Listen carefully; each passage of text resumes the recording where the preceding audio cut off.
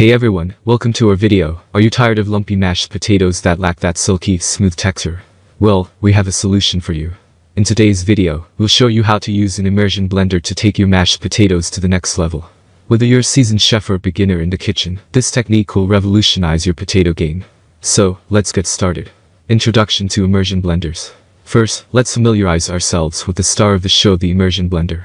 This versatile kitchen tool is designed for blending and pureeing ingredients directly in the potter bowl. It consists of a motor unit and a detachable blending wand, making it easy to handle and clean.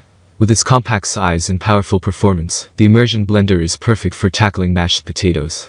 Benefits of using an immersion blender. One of the main advantages of using an immersion blender for mashed potatoes is the convenience it offers. Unlike traditional methods, you don't have to transfer hot potatoes from the pot to a separate blending appliance. Instead, you can blend them directly in the cooking vessel, saving you time and reducing cleanup. Additionally, the immersion blender provides excellent control, allowing you to achieve the desired consistency with precision. Techniques for creamy mashed potatoes. Now, let's dive into the techniques for creating perfectly creamy mashed potatoes using an immersion blender. First, make sure your cooked potatoes are tender and drained.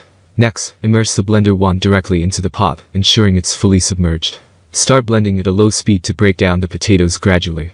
As the mixture starts to combine, increase the speed and move the blender in an up and down motion. That's all from my end I make helpful videos daily, so do subscribe to my channel.